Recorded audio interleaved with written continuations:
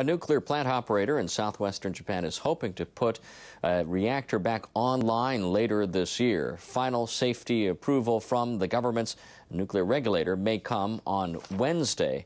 All Japanese nuclear power plants are now offline for safety checks as a result of the March 2011 nuclear disaster. The Sendai plant in Kagoshima Prefecture is on the fast track to clear the government's new safety requirements.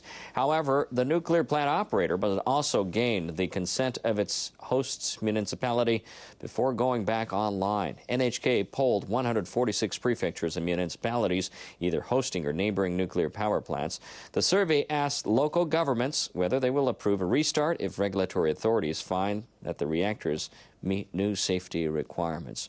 About 12% said they are ready to approve. 8% said they will not approve, and about 67% remain undecided. There is currently no legal requirement to obtain approval from municipalities before restarting a reactor. However, over 40% of local governments felt they should be asked for approval. Some analysts point out that a legal definition of local consent is necessary. They note that neighboring municipalities should also be included. The state government should play an active role in providing sufficient explanations, regardless of hosting or surrounding communities.